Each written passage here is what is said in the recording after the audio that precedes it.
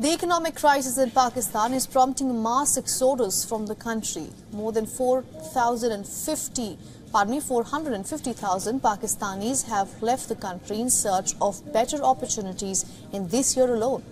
And these include many educated, high-skilled workers as well. The Immigration Bureau of Pakistan classifies the departing individuals among various categories. A lot of them belong to highly qualified skilled workers category while some 198,000 people have been categorized as unskilled, who are also immigrating in hopes of employment opportunities. Now, these people also belong to several diverse professions, ranging from engineers, doctors, technicians, salesmen to drivers, carpenters, and also agriculturalists.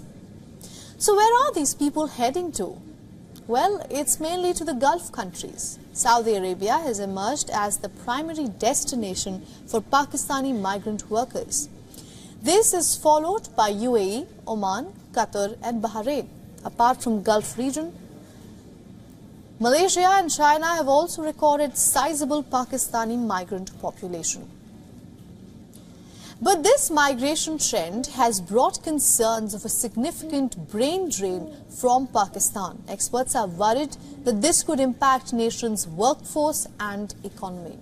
In view of this, the government has been urged to create domestic employment opportunities and policies that encourages skilled expatriates to return and contribute to the nation building.